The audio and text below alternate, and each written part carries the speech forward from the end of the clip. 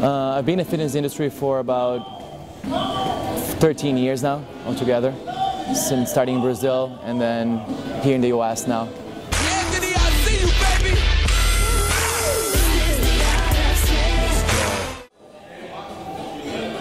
Yeah, Art of Strength, it basically just opened my mind to to different ways to, to actually right ways to, to work with people and to be able to assess just by watching movement.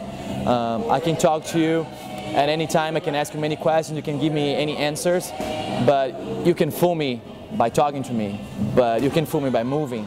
And that's what corrective strategies is all about. I, I'm gonna watch you move, um, still going through a workout, still challenging you, and watch you move under resistance um, in different planes of motion, uh, assessing different mobility, strength, flexibility, stability in, within a workout without having to put you standing against a wall, you know, with your arms overhead or doing something that it doesn't really make sense in a day-to-day life or in, in regular situations.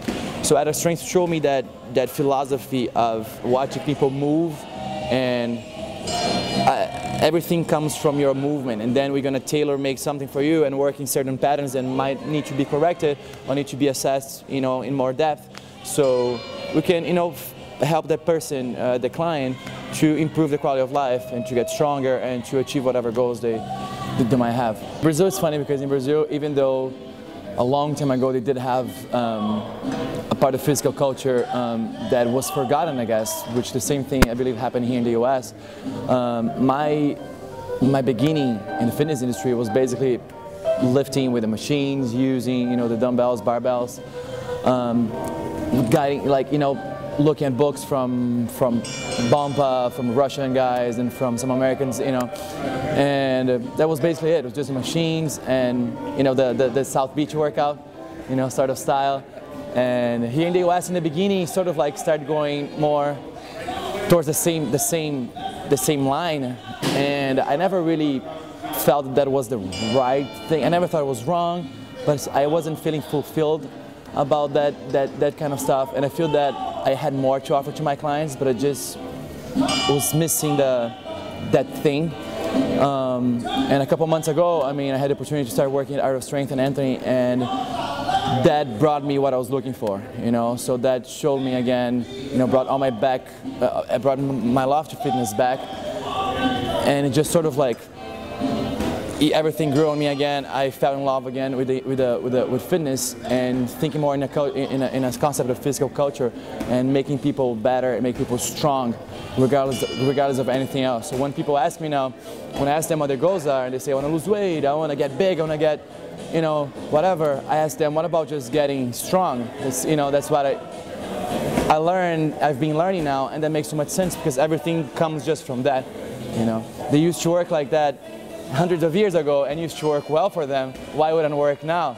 You know, and I've been seeing incredible results, you know, working with the vintage progressions, with kettlebells, with the ropes, with corrective strategies, which is being amazing for all my clients. I'm working with a, with a bunch of doctors and researchers uh, in the hospital area here in Boston, and it's just amazing how, how that just resonates so much into, into their training and makes everything better. Mobility, flexibility, strength, control.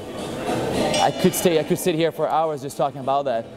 My main advice for trainers nowadays is to just question everything you hear about the fitness industry. I mean, I was put handcuffs on, like Anthony likes to say.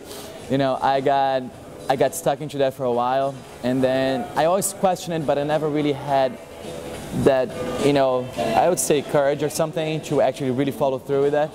And now I feel like I gained that, that base knowledge and that I sort of like opened my mind in a way that allowed me to start questioning things about the fitness industry that made the quality of my training, my personal training, and to my, my clients' training much better. Uh, another part of it too, the art of strength applied really well, and I could see that was a box fit here um, at the club by George Foreman III.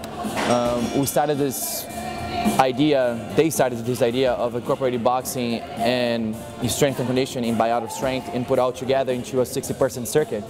And uh, it was amazing to see how that worked the same way that would work with a one-on-one -on -one session with a client. So the way I tell the people here, I'm one of the instructors here as well, I say that this is a personal training session on steroids. So this is not a group fitness class. I'm not going to be screaming at you, just making you move. I'm going to watch you move, throw you the progressions necessary. So it's a system that works for everyone, for a professional boxer or from someone that is sedentary just coming out of the couch and starting to work out today. We, we were able to, to work with progressions and regressions if necessary to the point where everyone, you never skip something, you always find a way to work on that. So, and it worked was fantastic. My first, I think one of the first sessions that I, um, I thought here, we had 57 people in the circuit and ran amazingly. And every week I can see people getting better. I can see the progressions, the progression happening, and they actually requiring that progression. And regardless of who I watch, I watch my guys here, they're 20 years old, I watch guys that are 60 years old, and they all moving together. So it just proves that the system works because it works for everyone, from someone that is 18 to someone that is 65 and they still see, see the benefit from it the same way. You know, improving their boxing skills and improving their strength. Um, so it's something great that it, it can be applied for a one-on-one -on -one session or for a group. You know, the philosophy is bulletproof. And I'd just like to, to thank you, uh, to, to thank Anthony um, and Art of Strength for everything. I mean, this last couple of months were like mind-opening for me, eye-opening, mind-opening for me, because it sort of like helped me to, you know, grow my career and make me a better person and a better trainer.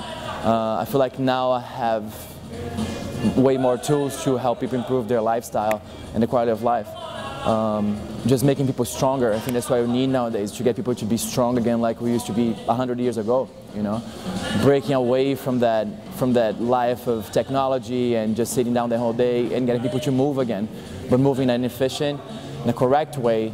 Uh, very low injury rates and just about making people strong.